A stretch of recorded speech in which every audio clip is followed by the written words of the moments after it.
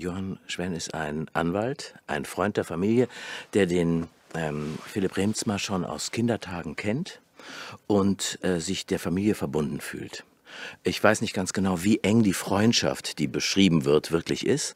Ähm, auf jeden Fall sehr gute Bekannte bis befreundet. Wie so. Ähm, er ist äh, geschätzt als, äh, als Anwalt von der Familie auch, also nicht nur als Freund und wird zu Rate gezogen und ja ins Vertrauen gezogen in dieser Extremsituation der Entführung, äh, weil er vertrauenswürdig und loyal ist.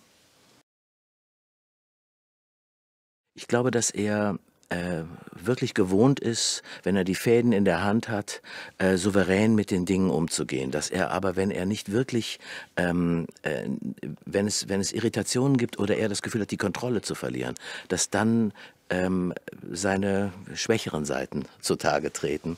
Und ähm, da kommt er ins Straucheln und ähm, spürt den Druck der Situation. Und dieser Druck und sein Erfolgsdruck insgesamt, ich glaube, das ist ein sehr ehrgeiziger Mensch, der unbedingt ähm, gewinnen bzw. das erreichen will, was er, was er sich vorgenommen hat. Ähm, relativ arrogant, eitel, klug, selbstsicher, intelligent, schnell im Kopf, ähm, eloquent. Und auf einmal nutzen ihm diese Fähigkeiten nicht mehr so viel. Das ist, glaube ich, sein, sein großes Problem der war fertig, der konnte nicht mehr. Der hätte das gerne zu Ende gebracht, glaube ich, und weitergeholfen. Aber der hat gemerkt, oh, da habe ich ein, zwei Fehler gemacht. Da sind mir Dinge unterlaufen, die mir nicht hätte, hätten unterlaufen sollen oder dürfen. Und das verzeiht er sich selber, glaube ich, so wenig, dass er so unter Druck gerät, dass er einfach nicht mehr konnte. Das hat eine, hat eine gewisse Größe zu sagen, oh, da haben wir alle Federn gelassen. Auch ich habe Fehler gemacht.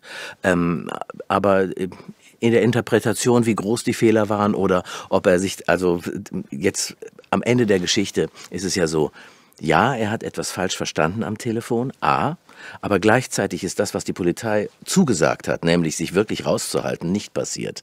Also ist das irgendwie eine ambivalente, ein ambivalentes Schuldeingeständnis ich habe halt ähm, die, die Auftritte, die ich von ihm gesehen habe, da dachte ich, das, das hat schon was von, von Selbstdarstellung und ähm, Eitelkeit auch zu tun und auch von einer klaren Hierarchie, der sagt, ich bin hier als Anwalt, als Freund, aber wirklich nicht als Küchenschabe. Das muss ich nur wirklich nicht haben. Ich muss hier nicht irgendwelchen Kaffee auf den Tisch stellen oder so. Das soll, bitteschön, das passiert bei mir im Büro auch so, der soll jetzt bitte hier auf den Tisch kommen. So ein bisschen habe ich ihn äh, verstanden. Und das ist ja auch in Ordnung, dafür war er ja auch nicht da in dem Sinne. So, und äh, ich glaube, da, der, der, er wollte von vornherein klarstellen, das, was die Polizei hier vor Ort macht, das geht durch meine Kontrolle. Und äh, wer sind Sie? Sind Sie kompetent? Haben Sie Befugnis? Das genehmige ich und das genehmige ich nicht. Das ist sozusagen die, äh, die Grundprämisse, mit der er da aufgetreten ist.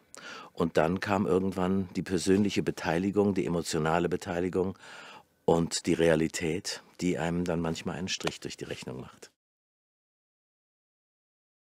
Ich fand eigentlich die Art und Weise, wie der Hans-Christian Schmidt den ganzen Film vorbereitet hat und uns selber so eine Plattform geboten hat und so detailliert äh, sich vor, äh, das Material zusammengesucht hat, die, die, ähm, die Gespräche, die er geführt hat, sodass man wirklich sehr viel Hintergrundwissen über die jeweiligen Figuren bekommen hat.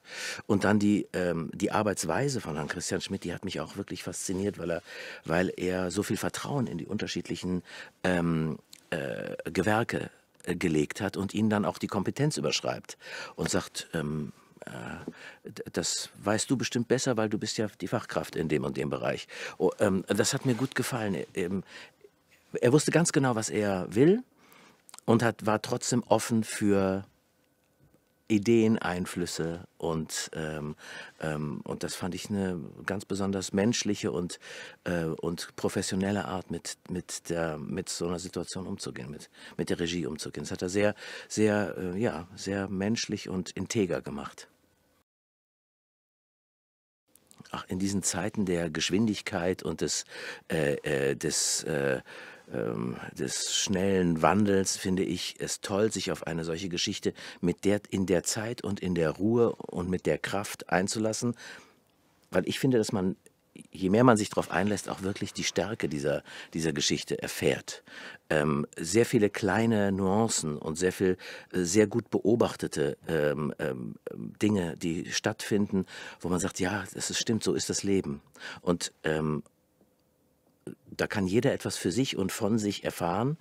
Ähm, und gleichzeitig erfährt man eine wirklich beklemmende, spannende ähm, Atmosphäre, die man so wahrscheinlich noch nicht aus der Nähe noch nicht beobachten durfte und konnte, äh, weil so eine Situation, so eine Ausnahmesituation in einer Familie ist ja schon ein bisschen, in Anführungsstrichen, was war juristisch, also man, man guckt ja schon mit dem Brennglas auf die, auf die Geschichte und das finde ich eigentlich einen sehr, sehr spannenden Moment da spielen all diese Charaktere, die da eine Rolle spielen, die, die Polizeirichtung, die Familie, innerhalb der Familie, die unterschiedlichen Gewichtungen, der Freund, der aus Frankfurt kommt, der Christian dann, der, der äh, diese, diese ganze Konstellation, die da stattfindet, ist schon ein Kammerspiel der besonderen Art.